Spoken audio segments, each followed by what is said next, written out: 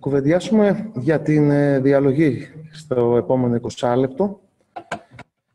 Ε, ο διαχωρισμός των ασθενών σε ομάδες προτεραιότητας σύμφωνα με τις ανάγκες τους και τους διαθέσιμους πόρους. Αυτός θα μπορούσε να είναι ένας απλός ορισμός διαλογής. Πότε γίνεται, όταν ο αριθμός των ασθενών που χρήζουν υποστήριξης είναι μεγαλύτερος από τη δυνατότητα του προσωπικού της εκάστοτε δομής φροντίδας υγείας για την ταυτόχρονη αντιμετώπιση τους.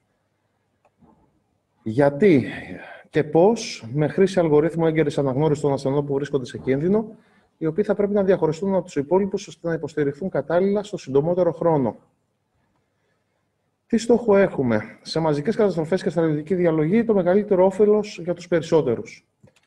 Στο ΤΕΠ, στο κέντρο υγείας, η ταξινόμηση των ασθενών γίνεται βάσει τι επίγουσε ανάγκε που έχουν ε, οι πάσχοντε για βοήθεια και το καλύτερο δυνατό για το μεμονωμένο ασθενή εξατομικευμένα. Εάν όμως έχουμε μια μαζική καταστροφή στο ΤΕΠ, ε, ε, μαζική καταστροφή εννοείται πάνω από πέντε θύματα ταυτόχρονα να, να πάνε σε ένα σημείο ή να χρειαστούν βοήθεια.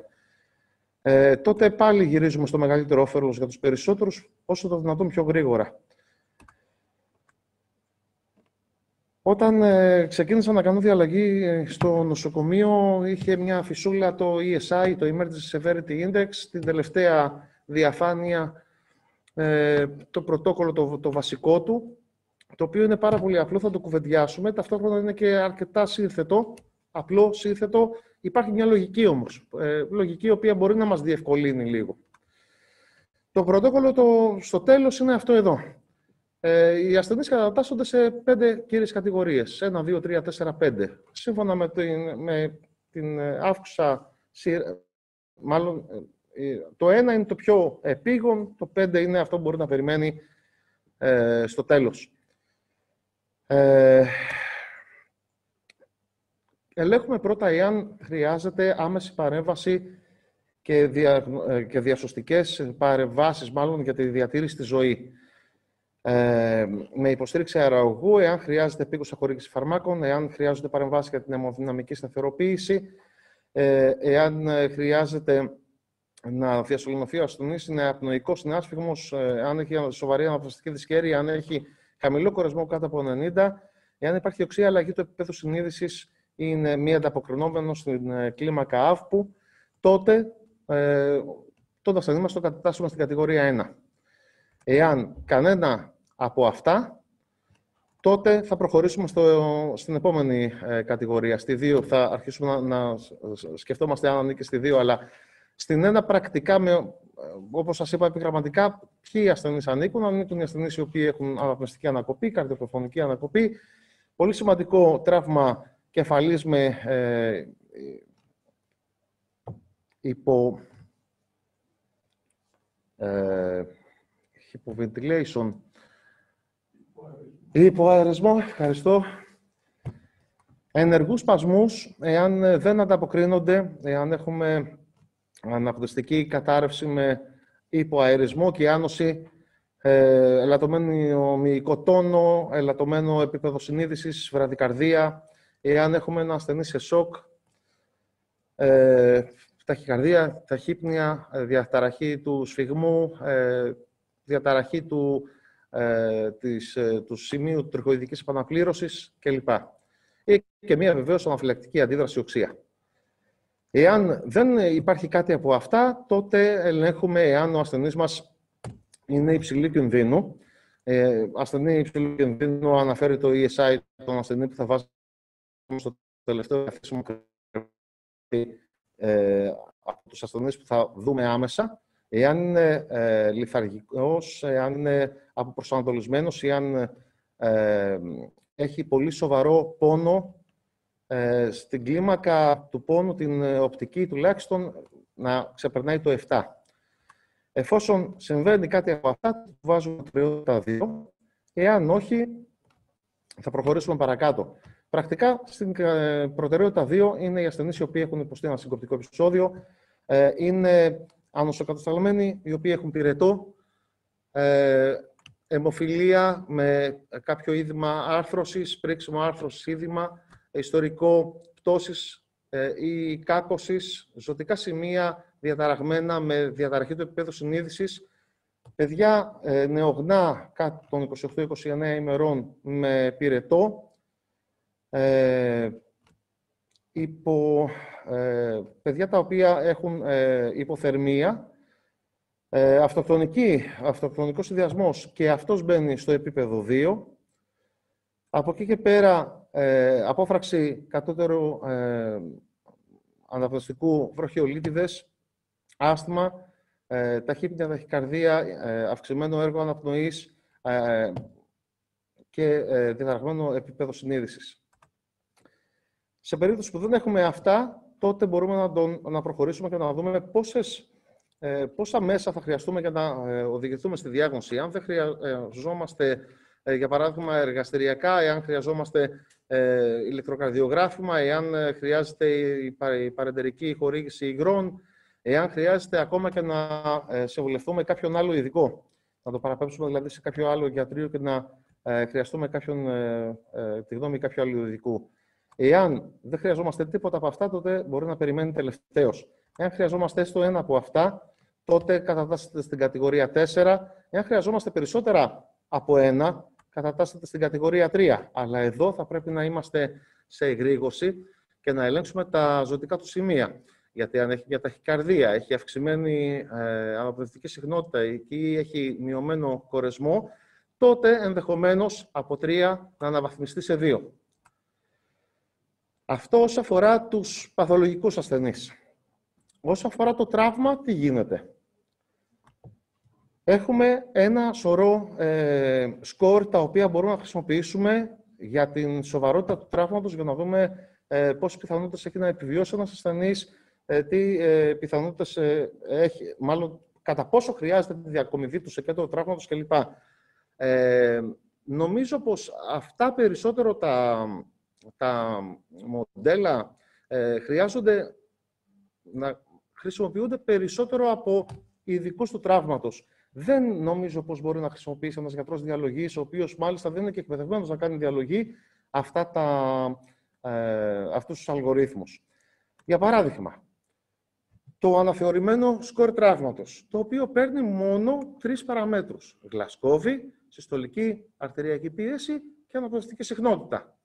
Ανάλογα με το που βρίσκεται σε Γλασκόβη, στη συστολική αρτηριακή πίεση και στην, καρδιακή, και στην αναπνευστική συχνότητα, παίρνει ε, τον αντίστοιχο βαθμό που βλέπετε δεξιά σας. Αυτός ο βαθμός όμως για την Γλασκόβη πρέπει να πολλαπλασιαστεί με 0,9368, να προσθεθεί 0,7326 επί του βαθμού της ε, συστολικής αρτηριακής πίεσης και αντίστοιχα να προσθεθεί και το 0,2908 της τιμής που έχει πάρει για την αναπνευστική συχνότητα είναι κάτι το οποίο μόνο βλέποντάς το ένας γιατρός διαλογής, ο οποίος θέλει γρήγορα να ε, κατατάξει τον ασθενή του και να τον ε, κατευθύνει στο ε, γιατρείο που χρειάζεται, δεν θα κάτσει να βγάλει κομπιουτεράκι για να τα κάνει.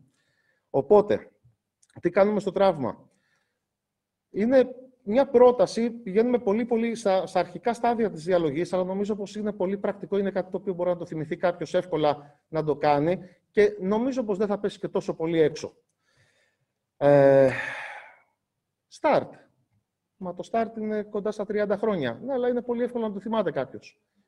Στην κατηγορία 1 κατατάσσονται αυτοί οι οποίοι έχουν, χρήζουν άμεσης θεραπείας, ε, είναι ένα πολύ κρίσιμο υπερεπίγο περιστατικό. Αυτοί οι οποίοι δεν μπορούν να περιμένουν. Καθυστερημένης θεραπείας, κίτρινη είναι μικρότερης βαρύτητας τραυματίες που απαιτούν ειδική ιατρική αντιμετώπιση, αλλά όχι άμεσα. Πράσινοι μπορεί να χαρακτηριστούν αυτοί οι οποίοι έχουν ένα ελαφρύ ένα, ή είναι ένα σύνηθες ε, περιστατικό που μπορεί να παίρνει ακόμα περισσότερο και αυτοί οι οποίοι ε, είναι νεκροί ή δεν υπάρχει κάποια δυνατότητα σωτηρίας ε, κατατάσσονται στη μαύρη κατηγορία. Θα πρέπει να σταματήσουμε να δούμε, να κοιτάξουμε και να σκεφτούμε. Να δούμε τι είδος συμβάντος έχουμε, τι ε, αριθμό ε, θυμάτων έχουμε τι επικινδυνότητε χώρου. Θα μου πείτε, μας μιλάς για start το οποίο είναι για μαζικές καταστροφές και εδώ μιλάμε για το, τη διαλόγη στο ΤΕΠ. Επί εποχής COVID, ε, καραντίνα, ε, όλοι με τις ρόμπες, ε, μάσκες, γυαλιά κλπ. Σταματάει ασθενοφόρο έξω από το Πανεπιστήμιο Γιάννενα, το οποίο έχει τρεις τραυματίες από τροχαίο. Ο ένας είναι εξαπλωμένος και δεν μπορεί να σηκωθεί καθόλου. Η άλλη κυρία και οι άλλες δύο κυρίες κάθονται με το αναρχενικό και δαιμόνα, με το οξυγόνο τους κλπ. Ε, οι πληροφορίες που έδωσα στη χειρουργό ε, μέσα σε δύο λεπτά περίπου ήταν από το start και νομίζω πως την κατεύθυνα αρκετά καλά ούτως ώστε να δει ποιον θα δει με ποια σειρά. Ε, και τελικά δεν ήταν και τόσο λάθος η, η κατάταξη που έγινε. Να το δούμε αυτό πώς γίνεται. Ελέγχουμε αν ο ασθενής περπατάει. Αν ε, περπατάει στο start, το απλό, θεωρείται ελαφρύ περιστατικό και ε, οδηγείται για δευτερεύον τριάζ στη συνέχεια. Εάν δεν περπατάει, ελέγχουμε αν αναπνέει. Αν δεν αναπνέει, διάνοιξη αεραγωγού, δεν αναπνέει νεκρός, αναπνέει μετά τη διάνοιξη υπερεπίγον περιστατικό. Εφόσον αναπνέει, ε, έχει αυτόματη αναπνοή, ελέγχουμε αναπνευστική συχνότητα. Πάνω από 30 αναπνοές υπερεπίγον, κάτω από 30 προχωράμε, ελέγχουμε την, ε, το αιμοδυναμικό του επίπεδο. Πώς, ελέγχουμε αν έχει σφίξεις ψηλαφιτές στην κερκιδική, άρα μία πίεση πάνω από 80-90 συστολική, ή εάν ε, το, ε, η τριχοειδική του επαναπλήρωση είναι μεγαλύτερη ή μικρότερη των 2 δευτερολέπτων. Μεγαλύτερη των 2 δευτερολέπτων υπερεπίγων.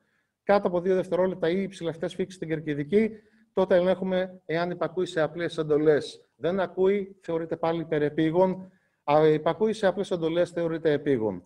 Είναι ένας πάρα, πάρα πολύ αδρός τρόπος που μέσα σε 30 δευτερόλεπτα μπορούμε να ελέγξουμε τον ασθενή και να τον κατατάξουμε σε ε, ελαφρύ, επίγον, υπερεπίγον ή κάτι άλλο. Ε... Στη συνέχεια όμως παρατήρησαν στη, οι πυροσβέστες στην ε, Νέα Υόρκη ότι υπήρχε μεγαλύτερη ε, υπερεκτίμηση, μάλλον γινόταν μια υποεκτίμηση των περιστατικών. Ε, χάναν περιστατικά που κατατάσσαν στην αρχή πράσινα, ενώ ήταν κίτρινα. Ε, υπήρχαν περιστατικά κίτρινα τα οποία θα έπρεπε να ήταν κόκκινα, στην πραγματικότητα τα φτάναν στο νοσοκομείο. Και έτσι ε, προσπάθησαν και κάναν ένα, ένα αναθεωρημένο στάρτ, το οποίο βασίζεται και αυτό στι αναπνοές, αρισμό, κυκλοφορία και επίπεδο συνείδησης, με άμεσες παρεμβάσεις στην απόφραξη αεραγού και στην απειλητική για τη ζωή θερμοκράση, ε, απειλητική για τη ζωή αιμορραγία. Ε, ενήλικες πλέον ε, μαύροι είναι αυτοί οι οποίοι ε, έχουν απουσία αυτόματης αναπνοής μετά από μία προσπάθεια διάνοιξης αεραγού.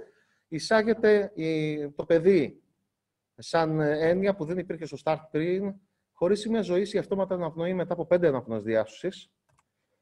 Κόκκινοι είναι αυτοί οι οποίοι έχουν αυτόματη αναπνοή μετά από διάνοιξη αεραγού, που έχουν κάτω από 10 σφίξεις ή πάνω από 30, απουσία κερκιδικού σφιγμού ή ασθενείς που δεν ανταποκρίνονται σε απλές εντολές. Στα κόκκινο παιδί, ε, αυτό το οποίο έχει ε, αυτόματη αναπνοή μετά από 5 αναπνοές διάσωσης. Εισάγεται το καινούργιο χρώμα, το πορτοκαλί, το οποίο αναφέρεται σε αυτούς που έχουν ή αναπτύσσουν στη συνέχεια αναπνευστική δυσχέρεια, αυξημένο αναπνευστικό έργο, αλλαγή του επίπεδου συνείδησης, θωρακικό άλγους, διακοπή ε, ή έλεγχο μιας αιμορραγίας μετά από εφαρμογή τουρνική ή αιμοστατικού επιδέσμου. Όλα τα βρέφη κάτω του ενός έτους, χωρίς καμία εμφανή κάκωση αντικειμενικά ευρήματα, κατατάσσονται ως πορτοκαλί. Και οποιοδήποτε κίτρινος ή πράσινος πρέπει να προηγηθεί τη κατηγορία του βάσει της κλινικής εμπειρίας. Αυτό είναι ε, κάτι πολύ πολύ σημαντικό το οποίο βάλανε οι πυροσβέστες μετά από αρκετή σκέψη γιατί πραγματικά μπορεί να ε, λέμε ότι κάποιος είναι ε, πράσινος, είναι κίτρινος, αλλά η κλινική εμπειρία να λέει ότι εδώ κάτι δεν θα μας πάει καλά, πρέπει να το προσέξω λίγο περισσότερο. Οι πορτοκαλί διακομίζονται, μάλλον ε, ε εξετάζονται αμέσως ε, μετά τους κόκκινους. Πράσινοι, περιπατητικοί ασθενείς, οι οποίοι ξεχωρίζουν από το υπόλοιπο σύνολο, κατευθύνονται σε ασφαλή περιοχή, μπορεί να χρησιμοποιηθούν σαν επιπλέον βοήθεια. Και κίτρινοι, οποιοδήποτε ανάμεσα στους κόκκινους, πορτοκαλί ή πράσινους.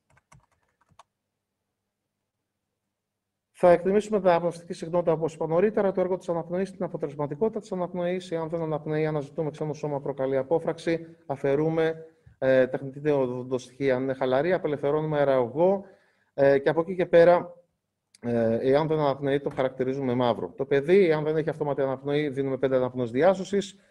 Εάν ε, δεν ανταποκριθεί μαύρος, αν ανταποκριθεί κόκκινος. Ε, η αναπνευστική συχνότητα πλέον πρέπει να είναι ανάμεσα στο 10 και στο 30. Οποιαδήποτε απόκληση μα τον κάνει κόκκινο.